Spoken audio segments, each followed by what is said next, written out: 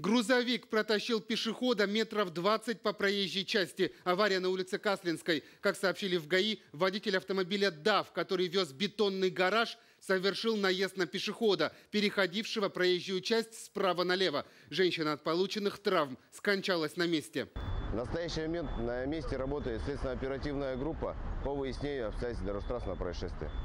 По словам очевидцев, шофер не сразу заметил, что сбил человека и протащил пожилую женщину практически до моста, а это метров 20. А в районе Чегрес мужчина за рулем автомобиля наехал на лежащего на дороге человека.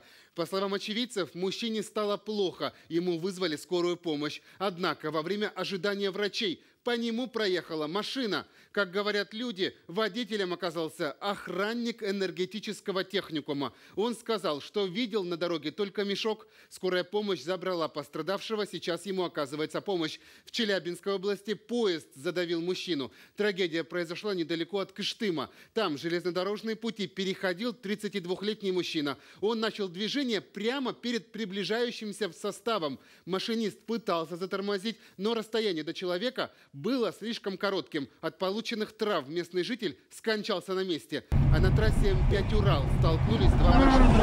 ДТП произошло недалеко от съезда к городу Сим, а пострадавших не сообщается.